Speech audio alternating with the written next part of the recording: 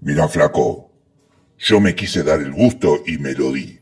Yo me hice traer de Estados Unidos una Fender. Estaba buenísima, toda con los micrófonos de Alnico, toda original, toda Caston Shop. Además, tenía el bloque grueso y tenía los trastes jumbo. Era un despelote esa viola. No te imaginas lo bien que sonaba, sonaba como la concha de la lora. Pero bueno, ¿qué pasaba? Que yo tenía un grupo que también tenía que hacer solos de, heavy metal.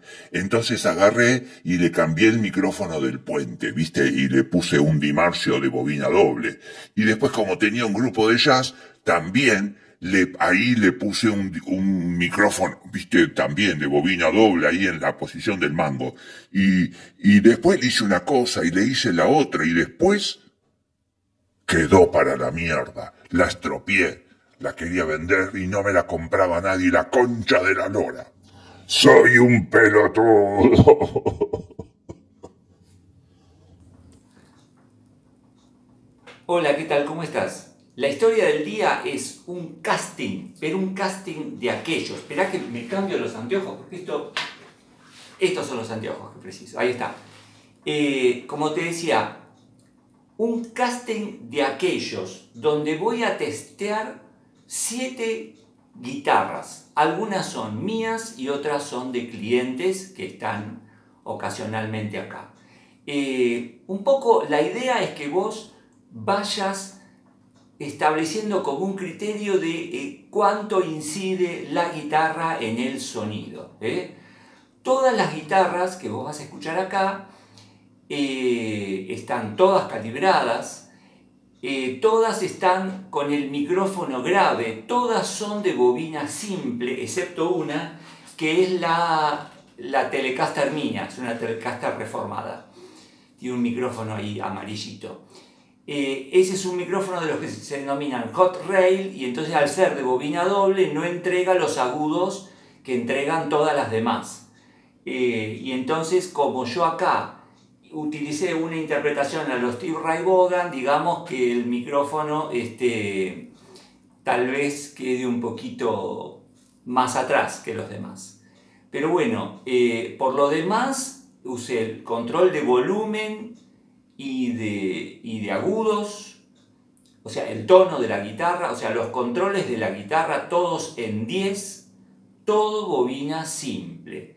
Y no hubo ninguna modificación ni en la pedalera, donde hay compresor, booster y reverb, y tampoco en la ecualización posterior. Es todo lo mismo, el sonido que vos escuchás eh, entra, o sea, va de la guitarra a mm, la pedalera, de ahí a una porta estudio que la uso para ecualizar nomás, pasa por un ampli de audio y sale, el sonido está tomado por un baflecito de audio, así chiquitín, ¿eh?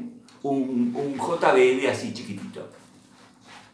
Em, bueno, vamos a ver ¿Qué pasa con estas guitarras? Eh, como ya te digo, eh, usé una pulsación muy fuerte, eh, muy como lo recontra fuerte, medio acercándome a la onda de Steve Ray Vaughan, pero un poco más jazz, por supuesto.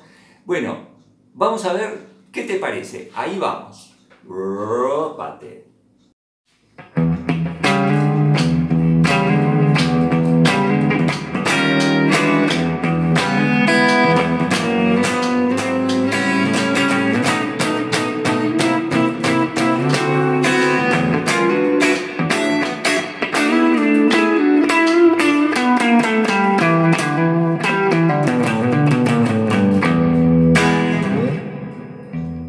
Mm-hmm.